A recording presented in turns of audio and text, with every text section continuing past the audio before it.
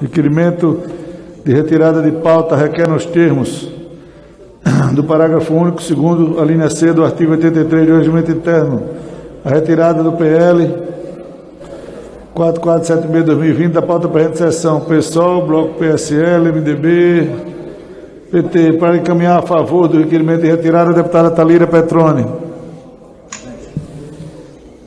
Obrigada, presidente.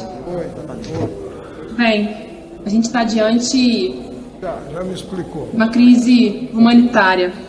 30% das cidades mineiras estão sem leito de TI. No Rio de Janeiro, a gente teve o maior número de pedidos para internação de UTI desde o início da pandemia. 50% das cidades de São Paulo estão sem leito também de E um governo que tem respondido com negacionismo, um governo que tem respondido numa lógica anti-ciência e sim, preciso dizer, genocida, porque está em curso uma política de morte e que tem, nesse momento, seu quarto ministro, ministro esse que já disse que vai dar continuidade ao que os ministros anteriormente haviam feito. Ministro este que disse que a política para enfrentamento ao Covid não é do ministro, é do governo, é do presidente.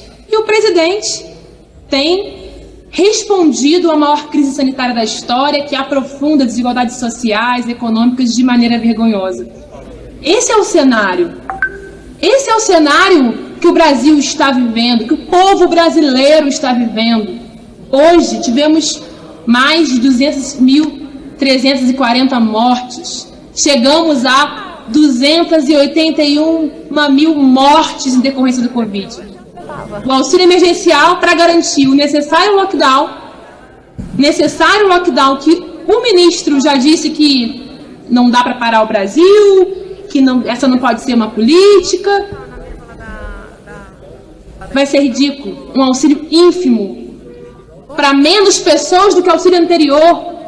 Veja, esse é o cenário do Brasil e essa casa que, sinceramente, está envergonhando o povo brasileiro, resolveu votar nesse momento de urgência o reforço já aprovado anteriormente da privatização, da possibilidade de privatizar, de abrir o mercado do gás para privatização.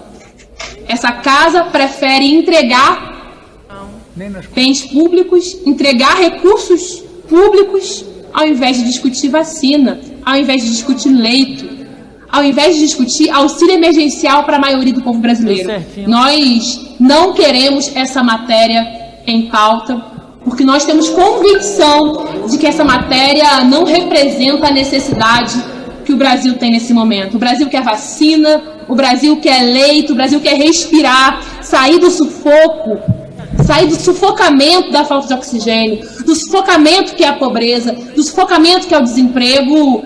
Não tem como sair disso sem